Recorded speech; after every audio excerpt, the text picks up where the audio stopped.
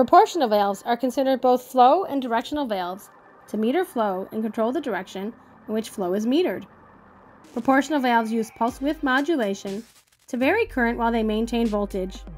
Varying the current modifies the force of the magnetic field and subsequently how far the spool or poppet moves within its body, changing the size of the opening available for fluid to take, which of course limits flow. A simple variable resistor can limit current, but it is inefficient and cannot provide a PWM controller's benefits.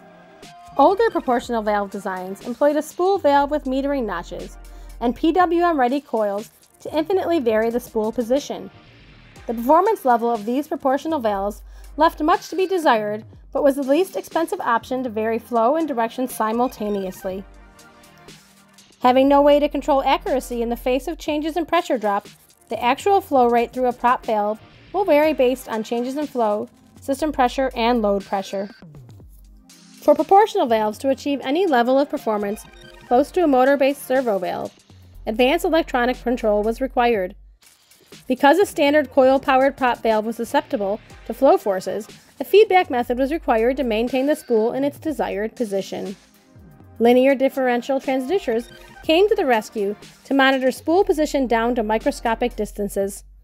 The transducer signal feeds back into the valve's onboard electronics, and when it senses the spool outside of its desired position, the valves adjust the PWM output to the appropriate coil to bring it back in line with the desired position.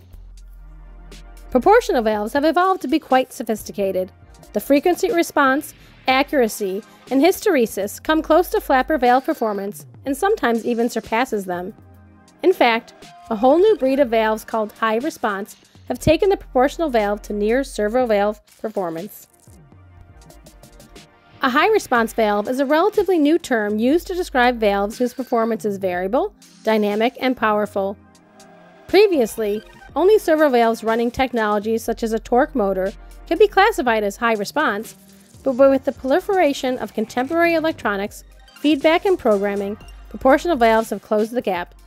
Now, some proportional valves match the performance of servo valves. New designs can include self-contained media separated electronic proportional flow control valves.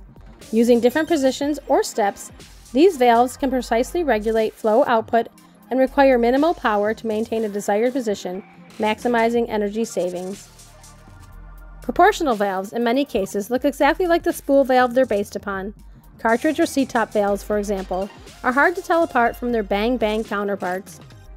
Proportional valve spools require metering notches so that even a minute valve shift allows a throttled volume to flow. Proportional valve coils must translate their incoming power signals into a variable magnetic field that tugs the plunger, which in turn shifts the spool to varying degrees. The pulse width modulated signal produced by the electronic valve controller maintains a constant voltage but varies the length of time the signal is on. By varying the pulse width, the valve controller essentially varies the current to the valve to control the strength of the magnetic field, thereby the metered flow output from the valve.